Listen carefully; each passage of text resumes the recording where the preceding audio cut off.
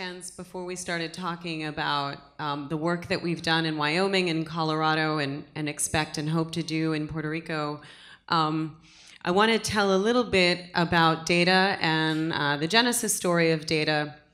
So, because I think it's important for the context. So, um, about six months ago, I sat down with uh, with a lobbyist who I used to work with when I worked on uh, worked for Senator Lautenberg years and years ago, um, a fintech lobbyist, and we sort of jocular set, jocularly said to each other, you know, there really isn't one single lobbying, truly lobbying body that is representing uh, digital assets, blockchain, distributed ledger technology, that is advocating on behalf of an entire and very large growing sector. And she said, Well, I have to tell you, I'd give up my fintech lobbying to sort of help start it. And so away we went. Um, a few months later, and it took a little while for us after Davos to set up a breakfast briefing with the CFTC and the Fed, and it was a quiet breakfast briefing, and we arranged a number of companies who I work with, who Brittany works with, and she'll discuss it, to sit down and have a, a really nice, actually a polite breakfast briefing where we, we were given, for the most part, a, a wink and a nod and a mandate to go forward and form an advocacy group that had a boots on the ground approach uh, to helping regulators understand and figure out this landscape. And so, in tandem, um, Wyoming and, and Brittany will cover it. Wyoming was already in full steam, and and there was some legislation that was about to. Um, start working its way through uh, legislators' hands, and data was formed. And we decided to help Wyoming and the Wyoming Blockchain Coalition start to move forward some legislation. So, Go ahead and tell the tandem story. Of course. So we found out in January, actually through um, through a article that Brock shared amongst a couple groups, that there were two bills that had been introduced to the Wyoming House. Now, I think most people in our community are quite well aware that a lot of governments around the world that are attempting to legislate around blockchain issues and digital assets tend to either overregulate or put forth legislation that is not really in line with supporting entrepreneurs. I'm not saying that they're doing it to specifically stifle the industry, but because they really don't understand the technology. So as soon as we saw that those bills were introduced to the Wyoming House, it became quite obvious that there was going to be a big need to send people on the ground to Wyoming and start to talk to the legislators, start to explain what is blockchain technology, what are the companies that are active in the space, how is this going to transform industries, how can this be really good for your state government and for the income in your state and the growth of various industries. So we started sending people to Wyoming. Um, I showed up there right after the first two bills had passed through the House um, which meant that they go to something called Senate committee. So there's there's usually um, some of the most senior senators will have a small committee session where they expect um, different stakeholders, either entrepreneurs in the industry or um, or people from different commissions, to stand up and testify either in support or against or questioning uh, different parts of this legislation. Usually, this is sometimes when um, amendments are also suggested. So I was one of the people standing up and giving testimony in the Wyoming Senate about why this was so important for the senators. We managed to also get the support of the banking commissioner, which kind of shows you how uh, open-minded and libertarian um, the legislators in Wyoming are. And through all of that support, we managed to pass um, HB 70 and HB 19 through to the Senate. Now, that started um, a couple week process of having to sit down with senators you know, all day long, sit out, sit inside of the Senate gallery, um, passing them notes saying why we wanted to meet with them, and then pulling them outside to have kind of education sessions about what the technology means. And eventually, we got uh, five pieces of legislation passed and signed by the president and the governor, uh, which are now um, in full force. So that is. Uh, and we really have Caitlin Long and the Wyoming Blockchain Coalition to really um, to really credit for that. They, those guys did incredible work, which is now being used as a model, um, not just for other states that we're working on in the U.S., but all around the world. But actually, Brittany, why don't you take a quick step because I think it's important to break down all of those pieces of legislation. So there were effectively five bills. Help, I think, everyone understand some of them because there's some comprehensive um, language in them that we've we've used and tried to replicate in other states. So. Yeah, of course. Um, so the first two that I was talking about were uh, HB 19 and HB 70. And one of those, which I, I suppose has gotten more uh, press coverage than anything else, defines for the first time a utility token. And that, I suppose, the definition of utility token has been one of the biggest reasons why people are afraid of the SEC. Um, it, there's still such a gray area within legislation in our country and all around the world over whether some tokens and some um, blockchain companies can be exempt from securities law. Uh, what is a utility? Um, and starting to describe that to the senators was quite interesting. We got into, you know, airline miles and postage stamps. You know, it's something that you exchange in for a service. So in that bill, we said that tokens are not by default a um, a monetary instrument or a security, that they are a new asset class to be defined by new legislation. And as of right now, that asset class is a property. So when we start going further into what that means, I, I want to point out to anybody that, that whether you work in law or not, you know if you really want to protect something in US law, you need to define it as your property.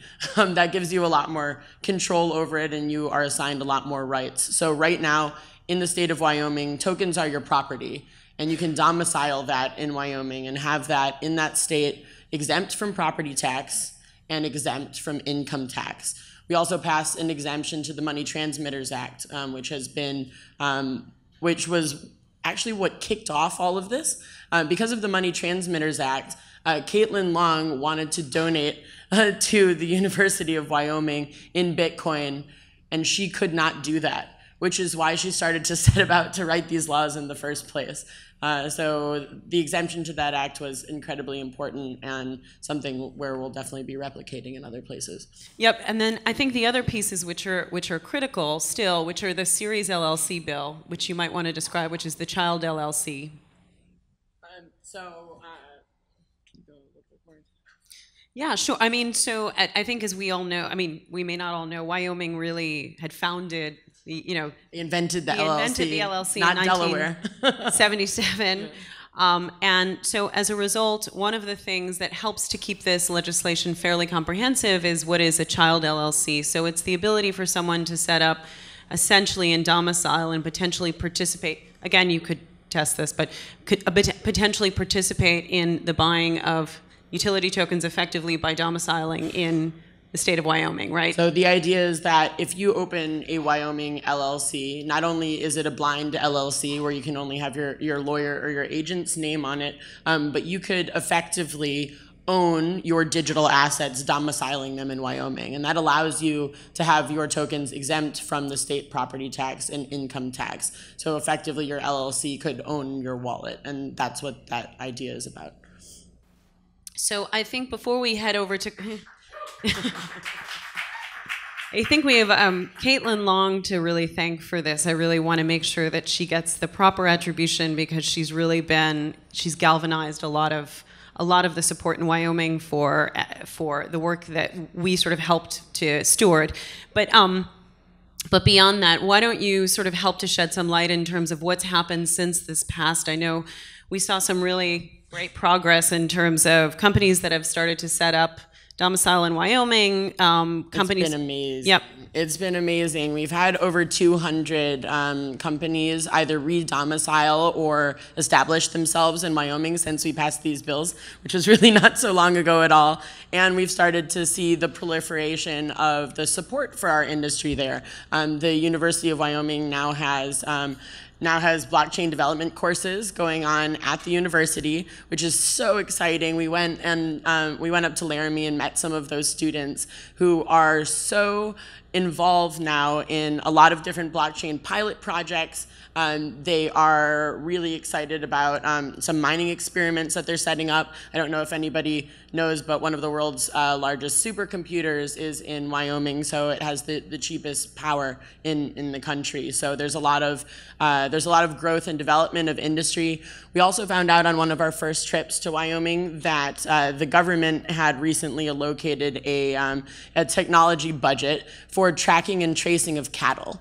So the, the cattle industry is one of the you know the, the biggest industries in the state, and they had found that Wyoming cattle, which are apparently more delicious and expensive than some other kinds of cattle, uh, had been falsely sold in other places of the country. Um, so so beef that had been raised elsewhere and was not as of high quality was being sold as Wyoming beef.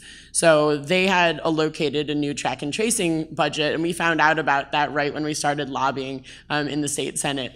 And we said, okay, well, I think that is going to be one of the first use cases for us to look at a government budget and propose a blockchain solution. So can we please get a hold of whoever is in control of that budget and ask them to meet with us before they decide who their who their tech partner is going to be?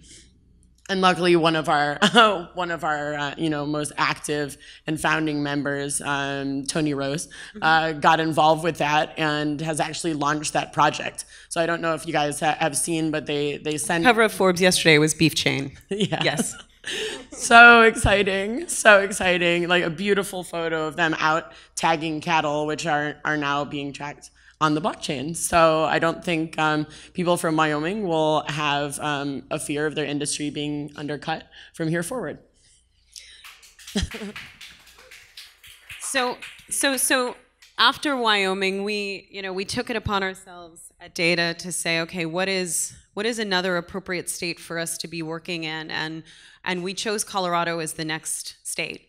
Um, and we engaged with a number of lobbyists who are well ensconced in the state and uh, a number of companies that are well ensconced in the state, uh, including Erik Voorhees, who um, helped us and, and testified with us on the floor. So, so two things I'll say, um, because we think that Colorado was a success, although it did not essentially pass. There were some internal issues in terms of how that vote was handled. There was a flip vote at the 11th hour, although it had passed unanimously in the House. Um, on the Senate side, it did not.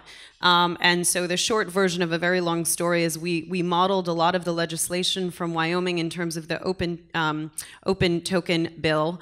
Um, and in creating uh, an exemption or a tax exemption um, for those that will uh, that are working and operating in the state of Colorado, um, and similarly followed very similar model with Wyoming. We we worked with legislators very closely. We engaged the community in Colorado. We had companies that were based in Colorado that were testifying, that were sitting in offices. We drafted that legislation. I mean, the most important piece is that that was our that was legislation we drafted, right, verbatim and we were able to sort of put that into their hands. And so I think the the uh, the the best thing to sort of suggest is that we're setting up a task force. Um, with the AG, and we expect that we'll be able to pass that legislation in the next cycle. So it's, um, I don't think it's a loss for us. I think it's a success for us that we can be there drafting that legislation, working closely with the community, educating our legislators, um, and saying that we're not going to just hit and run. We're here to stay and support you and support the ecosystem. So where are we today? I don't know, Brittany, if you want to talk a little bit about um, where we are data on a, a broader scale, both federally and, and locally, and then I think we can open it up for a few questions. Of course. Uh, so, right now, we still have the opportunity to propose legislation in a handful of more states this year. Uh, we also have the opportunity to look at doing ballot initiatives in three states, and uh, if we get the right amount of signatures by July, to have a referendum on the ballot in November. And now we also are starting to see an interest at the federal level um, to engage and talk about federal legislation. A couple months ago, the White House was saying that they weren't going to look at that anytime soon. But I think everyone in here knows that uh, between the Fed and the CFTC and the SEC, no one can really decide um, what this looks like. And state by state, it's going to become obvious that um, federal engagement is going to be the most important thing that we can put some of our time towards. Now, we are not just a, an American organization. We are looking to support organizations like Data, like ourselves, all around the world that are starting to pop up to support uh, their governments in legislation or regional governments. Um, I'm going to speak in the European Parliament next Wednesday, and I'll be sitting there with plenty of prime ministers, ministers of finance, the head of the European Central Bank to start to talk about what this can look like at a European Union level. We're looking to do the same um, in Asia and also with the African Union and with different United Nations bodies. So right now, um, we are building up our infrastructure. We started just as seven co-founders and um, working with Eight weeks ago. eight weeks Eight ago. weeks ago. um, and have now been looking at having a permanent infrastructure in DC and uh, looking at building up our subcommittees. So we'll have committees that focus on different regions around the world and committees that focus on specific states so that we have people with, um, with uh, specific interests and maybe companies that are domiciled in those places that can work together to decide what that legislation should look like write it together and introduce it and work with the local policymakers to get that passed. So we are very interested in anyone that would like to engage with us. The most important thing is that all of the voices in this industry become a part of this legislation. Because if we don't write this ourselves, people that are not in our industry are going to write it and it's not going to be to our benefit. So now is the time to get on board. You know, it's an all hands on deck type of thing. I don't think there's going to be anywhere in the world that's not going to look at uh, at least passing some legislation around blockchain and digital assets over the next year. So I think we have a very limited window opportunity for us to have a voice on this, and that's um, that's probably the most important point I could make is that it's a limited opportunity window before this legislation gets written without us.